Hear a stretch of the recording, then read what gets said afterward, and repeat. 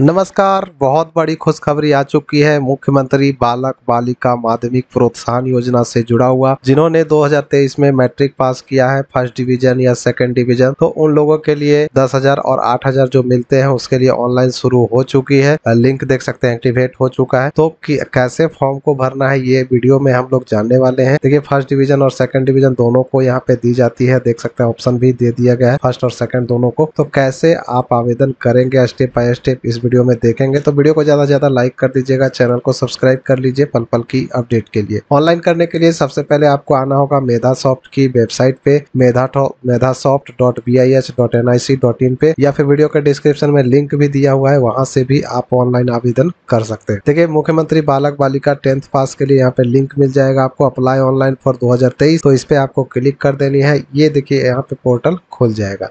इस पे आने के बाद देखिए, यहाँ नीचे आएँगे तो आपको ऑप्शन मिलता है कि मुख्यमंत्री बालक बालिका टेंथ पास प्रोत्साहन योजना से संबंधित जानकारी के लिए यहाँ क्लिक करें। तो यहाँ पे आपको क्लिक कर देनी है। तो देखिए, ये जो है मेधा सॉफ्ट की वेबसाइट बिल्कुल खुल चुकी है दसवीं पास के लिए। यहाँ पे कुछ इंस्ट्रक्शन दिए गए हैं, जैसे जो इम्पोर्टेंट है वो मैं आपको दिखा रहा हूँ। तो इंस्ट्रक्शन में यहाँ पे बताया गया कि जो आपका रोल नंबर, डिवीज़न जन्म तिथि जो है, सबसे इम्पोर्टेंट इसमें है कि जन्म तिथि जो है दसवीं का मार्कशीट और जो आपका आधार विवरण वगैरह है वो मैच करना चाहिए। और मोबाइल नंबर वगैरह जो है यहाँ पे मांगा गया है। दो मोबाइल नंबर मांगी गई है। एक तो आपका खुद का है तो वो डालेंगे और एक फैमिली का किसी का डाल सकते हैं।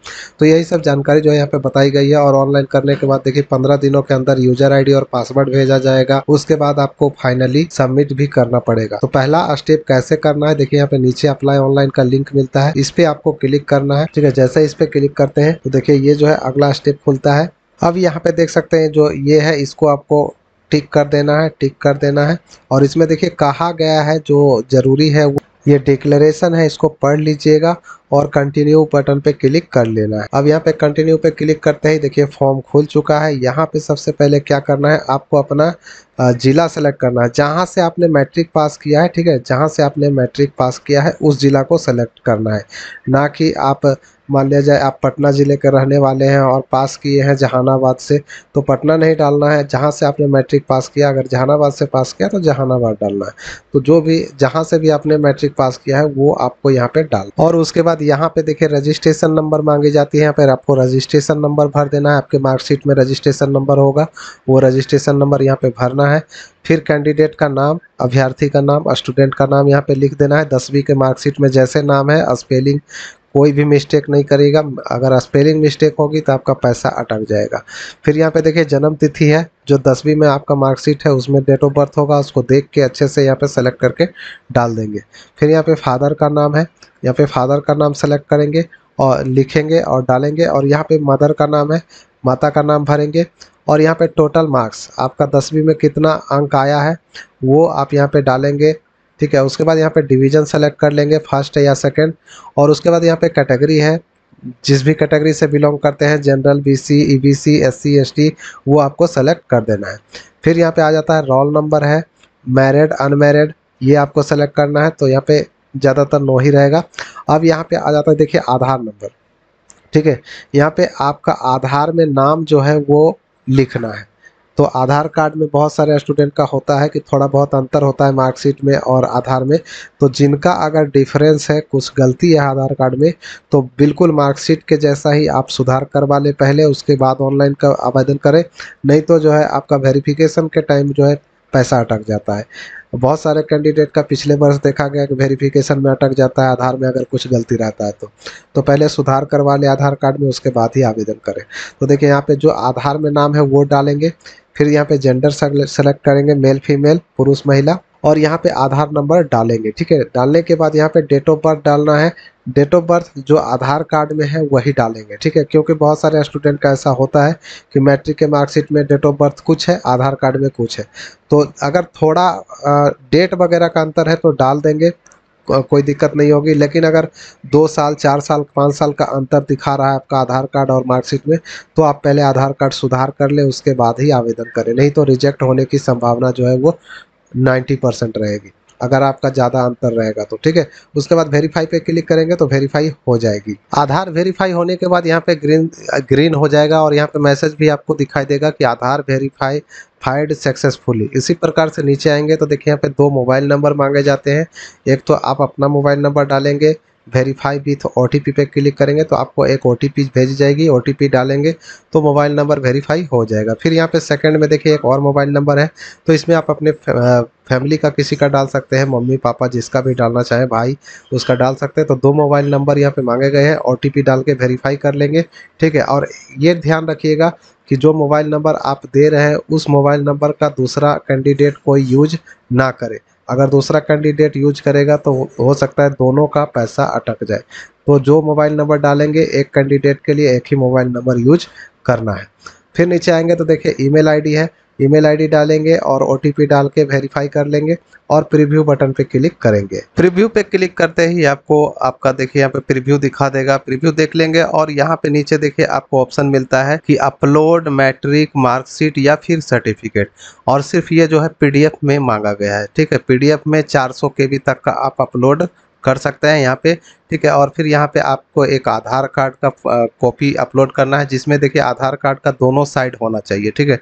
दोनों साइड का होना चाहिए, जो एक तरफ़ डेट ऑफ़ बर्थ नाम वगैरह फ़ोटो वगैरह रहता है और दूसरा साइड जो एड्रेस वगैरह रहता है, वो दोनों एक ही पेज में होना चाहिए और दोनों को अपलोड कर देंगे। अपलोड करने के बाद यहाँ पे रजिस्टर हेयर पे क्लिक करेंगे तो आपका रजिस्ट्रेशन हो जाएगा। अब दोस्तों आपको एक मैसेज मिल जाएगा, देख पा रहे होंगे यहाँ पे कि रजिस्ट्रेशन आपका सक्सेसफुल हो चुका है। तो इस प्रकार से जो है आपको ऑनलाइन आवेदन करना था, इसको प्रिंट आउट निकाल के रख लेंगे। देखिए यहाँ पे नीचे आपको ऑप्शन मिल जाता है प्रिंट का तो यहाँ पे प्रिंट करके इसको रख लेंगे। तो इस प्रकार से जो है आपको आवेदन करना था और पंद्रह दिन आपको वेट करना है, आपको एक यूज़र आईडी और पासवर्ड मिलेगा। जब यूज़र आईडी, पासवर्ड मिल जाएगा तो फिर आपको लॉगिन करके फॉर्म को कंप्लीट करना पड़ेगा। देखिएगा, अगला स्टेप जो आएगा, वो वीडियो मैं आपके लिए अलग से लेकर आऊँगा, ठीक है? जब यूज़र आईडी पासवर्ड आ जाएगा तो अलग से वो वीडियो भी आ जाएगा तो चैनल को जल्दी से सब्सक्राइब कर लीजिए, ताकि अगला स्टेप जब कंप्लीट हो तो वो भी आपको आसानी से जानकारी प्राप्त हो सके। तो चैनल को जल्दी जल्दी सब्सक्राइब कर लीजिए और वीडियो को ज़्यादा से ज़्यादा शेयर भी कर दीजिएगा। तो चलिए, अब इसे प्रिंट करके रख लेते हैं। देखिए, प्रिंट पे मैंने क्लिक किया। देखिए, प्रिंट आ चुका है। इसको प्रिंट करके रखना है। ठीक है, ये प्रिंट आपको हो सकता है बाद में काम आ जाए, अगर कहीं बीच बाच में फंस जाता है, अटक जाता है आपका पैसा वगैरह तो ये प्रिंट आपके बहुत काम आने वाला है। तो इसको अच्छे से, सुरक्षित से रखिएगा प्रिंट करके।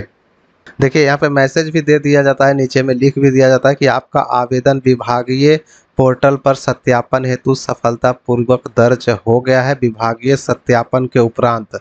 आवेदन को अंतिम रूप से देने हेतु पंजीकृत मोबाइल नंबर एवं ईमेल आईडी पे जो है यूज़र आईडी और पासवर्ड भेजा जाएगा। यूज़र आईडी और पासवर्ड प्राप्त होने के सात दिनों के अंदर विभागीय पोर्टल पर यानी कि इसी पोर्टल पे आपको आकर आवेदन को अंतिम रूप यानी फाइनलाइज करना होगा। अन्यथा आपका आवेदन जो है अपूर्ण माना जाएगा।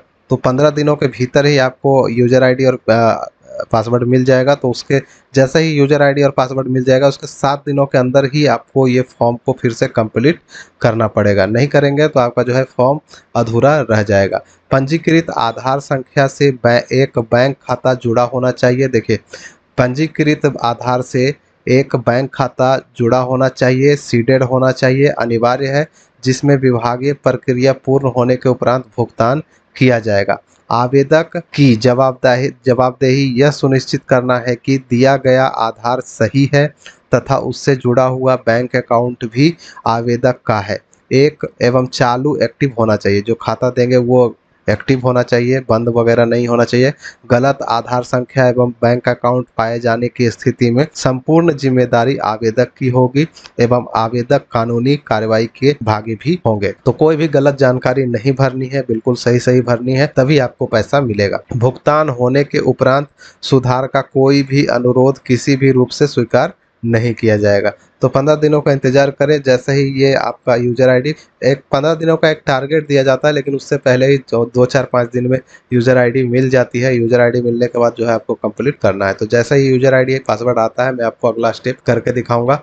तो बने रहिएगा हमारे साथ। चैनल को जल्दी से सब्सक्राइब कर लीजिए पल पल की अपडेट के लिए। मैं मिलूँगा नेक्स्ट वीडियो में नेक्स्ट अपडेट के साथ। तब तक के लिए बाय जय हिंद।